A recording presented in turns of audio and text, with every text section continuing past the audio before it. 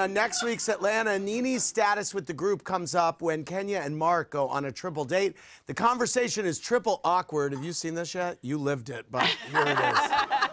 I care about people that matter in my life. My kids, I care about my family. Even people say Nini, blah, blah, blah. Nene was nice to me the first time I met all of you. I have to remind Mark, when you found out that Nene said, what am I carrying, like a buffalo or something, you, you got very offended by that. It's inappropriate comment, but then she reached out to you after and tried to apologize. She did. no, she actually I don't have a problem with the woman. The woman's very nice. Why are you going on with this? Like, you supposed to have your wife's back, not Nene's back. Like, you're doing too much right now.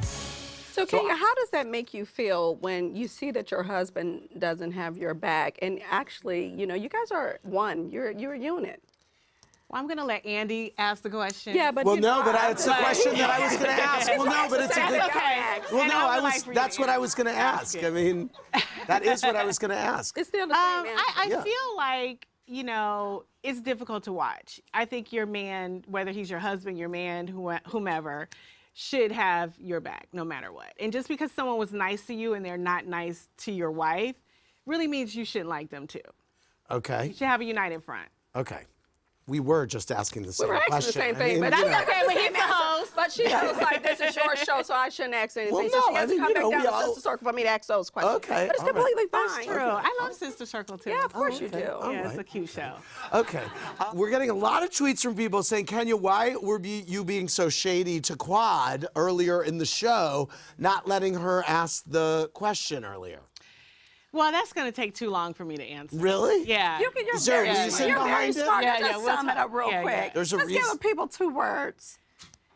It doesn't matter what it is. give it to them. History, history. Oh, do you two have Yeah. history? We do it? She has a little bit of shady history toward me. Do I? Oh. I thought you said something in, in favor of my ex-husband once before. I Oh, thought I I'd love him. it. Is that a bad thing? Do thing? you?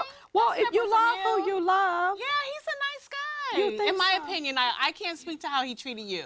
You 'Cause cannot. that's separate. And But- just like I can't speak to how what's going on with your marriage exactly, right now, I that's can't. true.